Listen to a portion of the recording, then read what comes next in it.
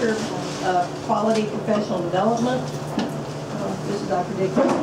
And number two, what challenges do you face in teaching this professional development may help you address? So y'all be thinking about that, these are the two questions you'll be answering at the end of the day. Are y'all ready to go? Okay, let's do it. All right, so we're gonna start out today with density. And we're gonna investigate where my clicker is. Uh, Where will it float is what we're looking at. So we've already gone over this with Dr. West. Okay, how will it float? I'm gonna give you a handout. You know what? I'm not going to give you a handout.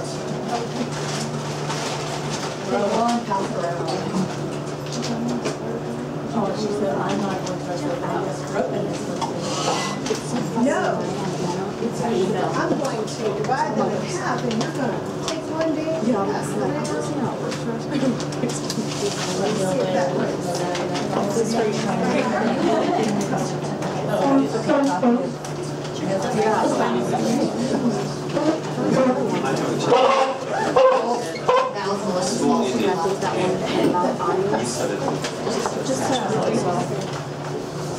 Okay.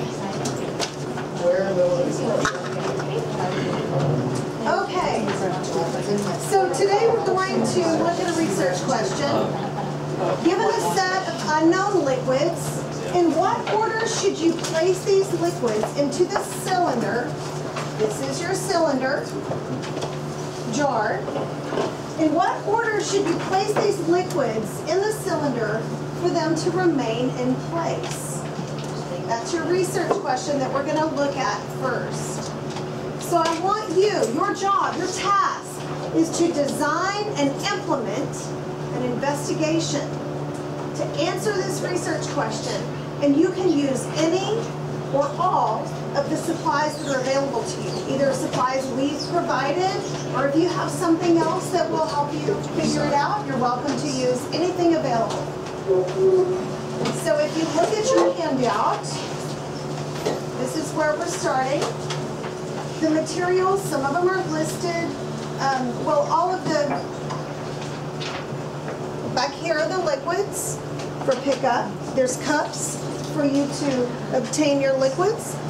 Um, there's materials on your trays, and then, is that, is that everything we need, girls? Is that, all the materials are out, right? Joe Jobs. Okay. The jobs, yes, where are your table, t- your job tents? Okay. So in your groups of four, right off the bat, we need to de- decide who is going to be the materials manager.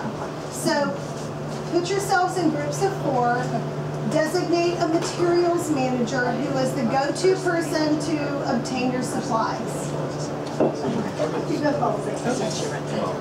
On the safety precautions, on your safety precautions, always wear chemical splash goggles when working with hazardous chemicals. The most hazardous chemical you're going to work with today is rubbing alcohol. So don't drink it. Um, and we have two different types of rub, or two different percentages of rubbing alcohol, and you can use both of them.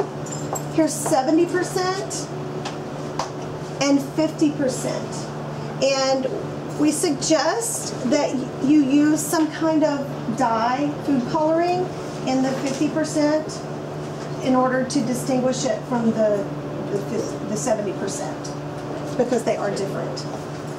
Okay? Any questions? Water from the sink. Water from the sink. Anything else? Okay. Um, so before you start going and getting, you need to design your experiment. So come up with a plan. The instructions are on the page, and we are going to plan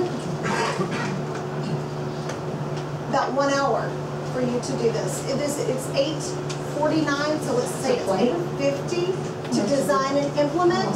And your next job, after you design, you implement, you create your, your cylinder with all the products in it.